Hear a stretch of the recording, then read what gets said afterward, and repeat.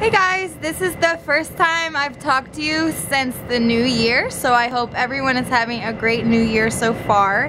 And as you see, it is snowing here today in Raleigh, North Carolina. It's actually been icing throughout the night and continuing to snow today. So we are snowed in today. We won't be leaving the house for anything. So I'm going to be sharing with you today some footage that I started yesterday where I went through the fresh food that I already had in my house and then also a vegan grocery haul to show you the types of foods that I eat for long-term health and I'm also going to be sharing with you everything that we eat today on a snow day.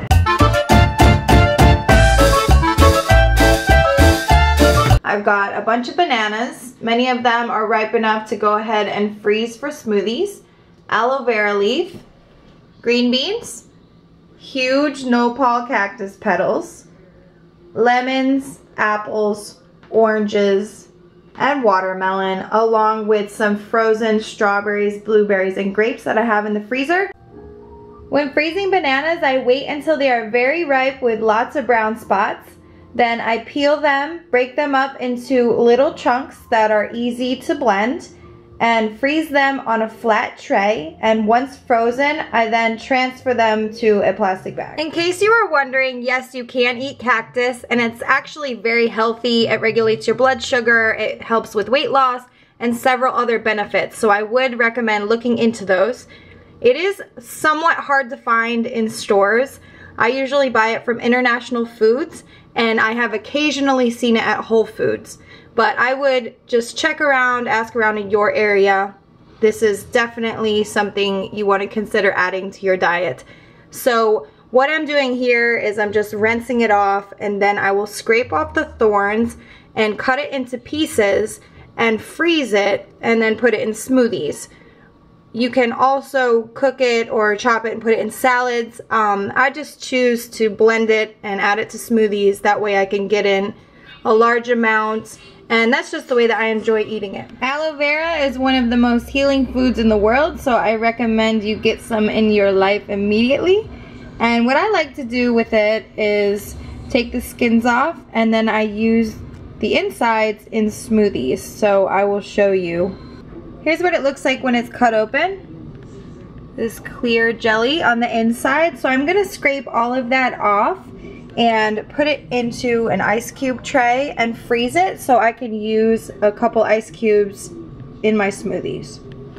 And I'm actually gonna try juicing these aloe skins. So here's the tray of aloe vera and I'm just going to add a little bit of water to kind of hold everything together and make it easy to come out of the tray. So we're on our way to Whole Foods now so I can pick up a few more things for juicing and also just to have a lot more raw fruits and vegetables in the house so I can choose to do whatever I want with a variety of nutritious, delicious, fresh fruits and vegetables. So a lot of things for juices and smoothies and just to snack on. So here's everything I picked up at Whole Foods. So now I have a lot more to work with. So I've got some limes, lemons, cherries, oranges, grapefruit, purple kale, beets, green kale, blueberries, ginger root, turmeric, cinnamon, grapes, carrots, cucumbers, green apples, green kale, and celery.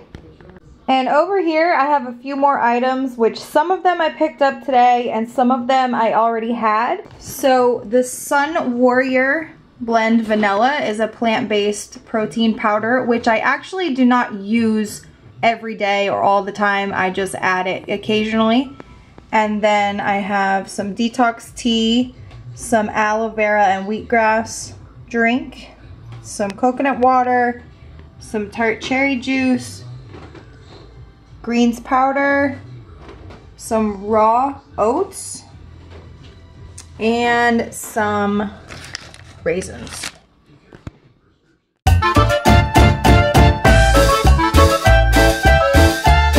Going to start the day by juicing these ingredients. So I've got a bunch of kale, three lemons, two cucumbers, two green apples, celery, and some ginger root. This is what everything looks like cut up and ready to go through the juicer. And this should be enough to make two large glasses. So if you are just making this recipe for yourself, you could cut the ingredients in half. And here it is, two full glasses of fresh organic green juice with all of those live enzymes and nutrients. I'm getting ready to make delicious, nutritious meal number two.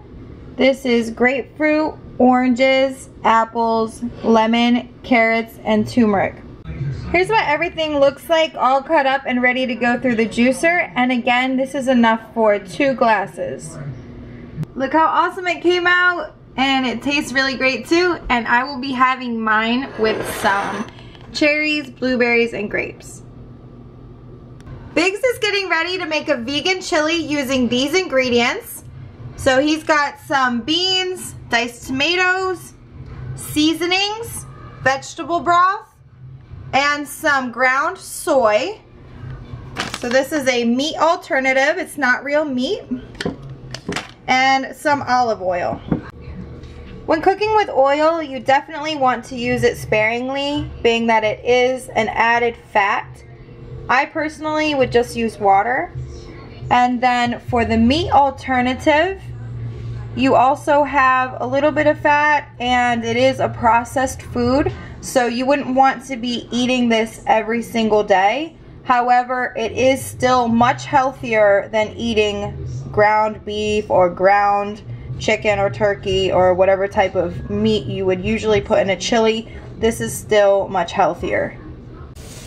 Here we have the beans, diced tomatoes, vegetable broth, and chili seasoning pack. And over here is the soy, olive oil, and other seasonings. And make sure you use garlic because it is good for you. And over here we have some brown rice cooking to go with it. So here's the finished product for the Snow Day Vegan Chili. And this is pretty much just a basic chili. So feel free to add any additional vegan ingredients of your choice. I hope this video gave you guys a few ideas of foods that you can incorporate into your diet for long-term health. And my number one tip is to remove all animal products from your diet. So that's meat, dairy, and eggs. Anything that comes from an animal is not serving you any good. And any health benefit that you feel like you need or you receive by eating animal products, you can receive in a much healthier form from plants. So please continue to look into that. And if you are interested in more videos about health, vegan recipes, travel, and other cool things that Bigz and I do on our channel, please consider subscribing.